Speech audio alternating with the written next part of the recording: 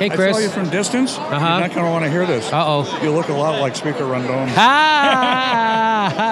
I'm here with Chris Robeson, and uh, you just got elected last night. Tell me your position. It's the uh, Executive Vice President of the California Democratic Council, which is the network of progressive Democratic clubs. We're working with Blue Revolution California, Blue Revolution, California. and what we're trying to do is make reforms happen within the party. A big problem uh, in last year's convention with the Kimberly Ellis nomination was that the progressives thought that they had taken over the party, but then there's actually super delegates to on the on the state level. Can you talk about that? Absolutely can. Uh, one of the things we want to do is we want to eliminate the fact that super delegates are representing representing the electeds, uh, which is okay. They need to be elected. They need to be they need to be at the table, but they don't need to be controlling.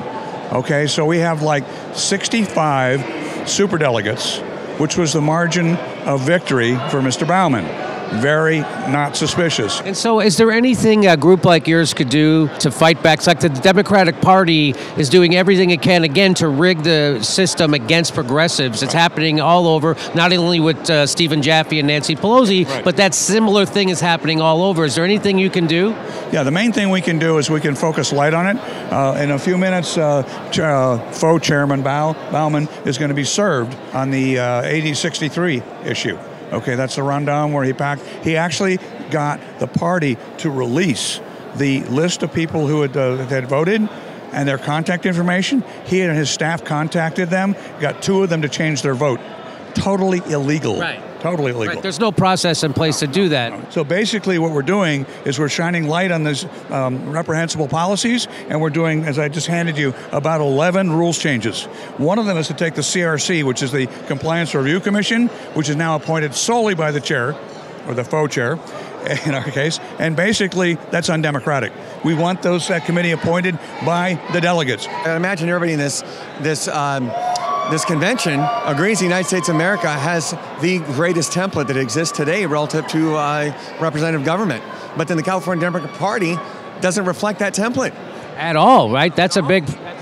At all. So I was just telling him that. that- So th- these are the solutions to those problems, like what's happening with Stephen Jaffe and other people around. Exactly. We want to eliminate the automatic endorsement of incumbents, for instance. So make them make them come to us and have a performance review once every two years. That's our job is to do the endorsement of of all candidates, and so that role has been taken away from us.